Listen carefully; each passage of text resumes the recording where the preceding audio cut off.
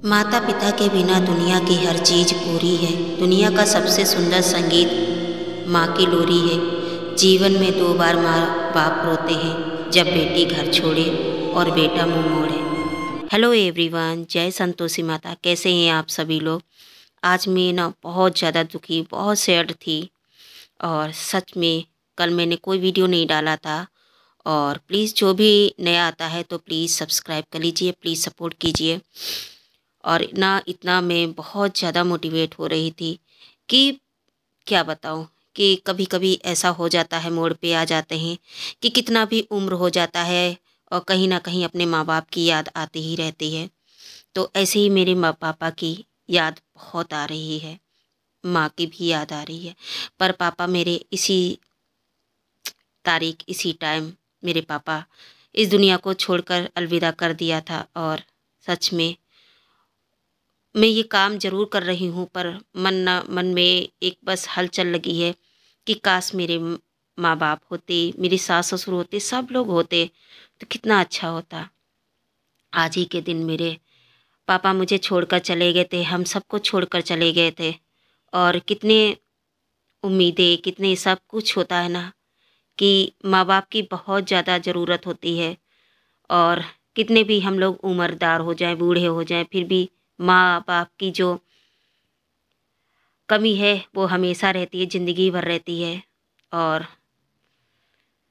तो यही है कि जब माँ बाप बच्चों को छोड़कर चले जाते हैं तो बच्चों पर क्या बीतती है?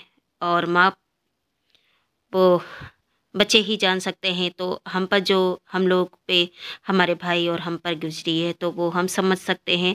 उन, उनको भी हम समझ सकते हैं, जिनके माँ बाप नहीं हैं। और सच में माँ बाप की बहुत ज़्यादा कमी महसूस होती है और आई लव मम्मी पापा। बहुत याद आते हो। और सच में मुझे बहुत कमी महसूस हो रही थी। वो दर्द, इतना दर्द हो रहा था कि कुछ पूछो ना। सच में मैं खुद माँ बाप बनी हूँ, माँ बनी हूँ, फिर भी मुझे अपने माँ बाप की याद आती है।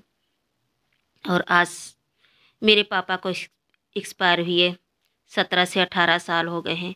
फिर भी मैं उन्हें याद करती हूँ। ऐसा दिन नहीं जाता है, मैं उन्हें याद नहीं करती हूँ। और सबसे ज़्यादा मैं अपने पापा को मिस करती हूँ, बहुत ज़्यादा मिस करती हूँ। आई लव पापा, बहुत ज़्यादा मिस हो रहे, करती हूँ। और सच में अपने पापा की हर एक एक बात, हर एक एक उनकी आवाज़ ना आज भी मेरे कानों में गूंजती है।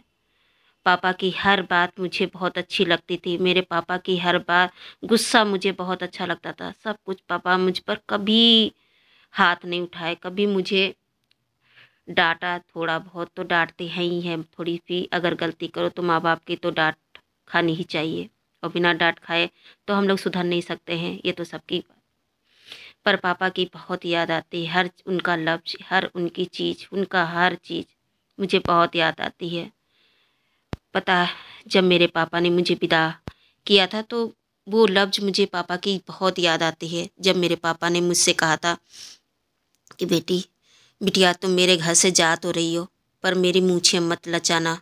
किसी को किसी को जवाब मत देना, किसी को कुछ मत कहना।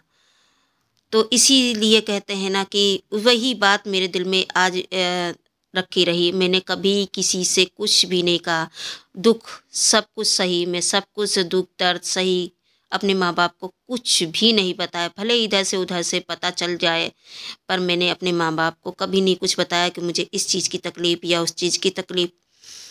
क्योंकि मैं जानती थी कि अगर हम बताएँगे तो मेरे पापा को बहुत ज़्यादा दुख होगा। तो सुख दुख तो हम, हमारी जो किस्मत में होगा, हम लड़कियों के भाई ये ससुराल है। तो ससुराल की तरह रहना, चलना रहन सहन सब करना पड़ता है। तो मैं तो शहर में मतलब पैदा हुई बड़ी, और शहर में ही गाँव का माहौल बहुत कम देखा था। और फिर भी मेरे मम्मी पापा, मेरे पापा ने गाँव में शादी की, फिर भी मैं एडजस्ट की रही। सब कुछ हर तरीके से रहने की कोशिश की, सब कुछ मैंने अपनी सास से सीखा, कुछ कुछ चीज़ें हैं अपनी सास से सीखा। और क्या बताऊँ? तो आज ना मैं बहुत ज़्यादा सैड थी तो सोचा चलो आपके साथ शेयर कर देती हूँ। कल भी मैं वीडियो नहीं डाल पाई थी और ये कल का वीडियो था तो नहीं डाल पाई मुझे सच में पूरा दिन और फिर मेरी जाँच भी आ गई तो इतना मैं डर गई जाँच देख कर के कुछ पूछो ना। कि मैं तो ये सोचती हूँ कि मैं ठीक रहूँगी, मेरे हस्बैंड ठीक देखो माँ, दोनों माँ बाप ठीक रहेंगे तो बच्चों का जो है वो भी सही रहेंगे और क्योंकि अभी हमारे बच्चे इतने बड़े नहीं हैं और इसलिए अपना सबसे पहले अपने लोगों का ख्याल रखेंगे। अपने शरीर का ख्याल रखना है तो इस वजह से। तो मेरी रिपोर्ट आ चुकी है थायराइड की तो थायराइड मतलब पाँच, साढ़े पाँच होना चाहिए। एक सौ सत्ताईस थायराइड हमारी बढ़ी है तो वही तो मेरे हाथ पैर और मेरा शरीर बहुत दर्द हो रहा था। सच में इतना बीमार पड़ गई थी, बहुत ज़्यादा बीमार पड़ गई थी। बच्चे खाना अपने आप बन, बना लेते तो बना लेते, नहीं तो वो ऐसे ही भूखे लेट जाते थे। तो मैं जानती हूँ कि हमारी कितनी ज़रूरत है अपने बच्चों के लिए, हमारी बहुत ज़्यादा ज़रूरत है बच्चों के लिए तो इसलिए मुझे अपने को स्वस्थ रखना ही है। और वही मैं सोचती हूँ कि जो मैंने झेला है, वो मेरे बच्चे ना झेलें तो क्या बता सकते हैं? तो भगवान जो करते हैं, वही हमें सहना पड़ेगा। जो हमारी किस्मत में, वही तो। और कहीं ना कहीं जो भी होता है अच्छा या बुरा तो वो भगवान हमारे लिए अच्छा ही करता है। तो बस यहाँ पे हम सब्ज़ी बना रहे हैं। ये शाम का टाइम है। लगभग ये सोमवार का। सोचा था मैं डाल दूँगी, कल भी नहीं आपसे संपर्क हो पाया, कल मेरी तबीयत नहीं ठीक रहती है तो फिर टेंशन भी रहती है। सोची कि टेंशन ये रहती है कि अगर मुझे कुछ हो जाएगा तो मेरे बच्चों का क्या होगा। तो वही है, फिर बस दवा लाई हूँ, दवा टाइम से खा लूँगी और अपने आप को केयर करूँगी, अपना ख्याल रखूँगी, क्योंकि माँ बाप से बढ़कर बच्चे के लिए कोई कुछ नहीं है। अगर हम नहीं रहे तो हमारे बच्चों के लिए कोई कोई नहीं खड़ा होगा यार। मैं समझ सकती हूँ कि जब हमारे पापा का एक्सपायर हुए थे और तो कोई नहीं खड़ा हुआ था, इसके बाद मम्मी एक्सपायर हुई तो कोई पास में भी नहीं, सब लोग होते हुए भी सब पास में नहीं, कभी इस चीज़ को एहसास, सब कोई होते हुए भी इस चीज़ को एहसास नहीं हो, एहसास नहीं दिलाया कि हम हैं। सब होते हैं, सब होते हैं अपने मामा, मामी, मासी, मौसा, सब होते हैं। पर किसी के लफ्ज़ ये नहीं निकलता है कि हम हैं। माँ बाप की कमी हम महसूस करें, हम हम पूरी करेंगे, कोई नहीं कहता है। आजकल के ज़माने में नहीं, पहले का ज़माना चला गया कि सब लोग अपने हो जाते थे, कोई दुख में सब लोग खड़े होते थे। पूरी ज़िंदगी काट देते थे साथ में रह के और हाल चाल लिया करते थे, सब कुछ। अब ज़माना ऐसा हो गया है, कोई किसी का हाल चाल नहीं लेता है, कोई किसी का, सब अपने में मग्न है।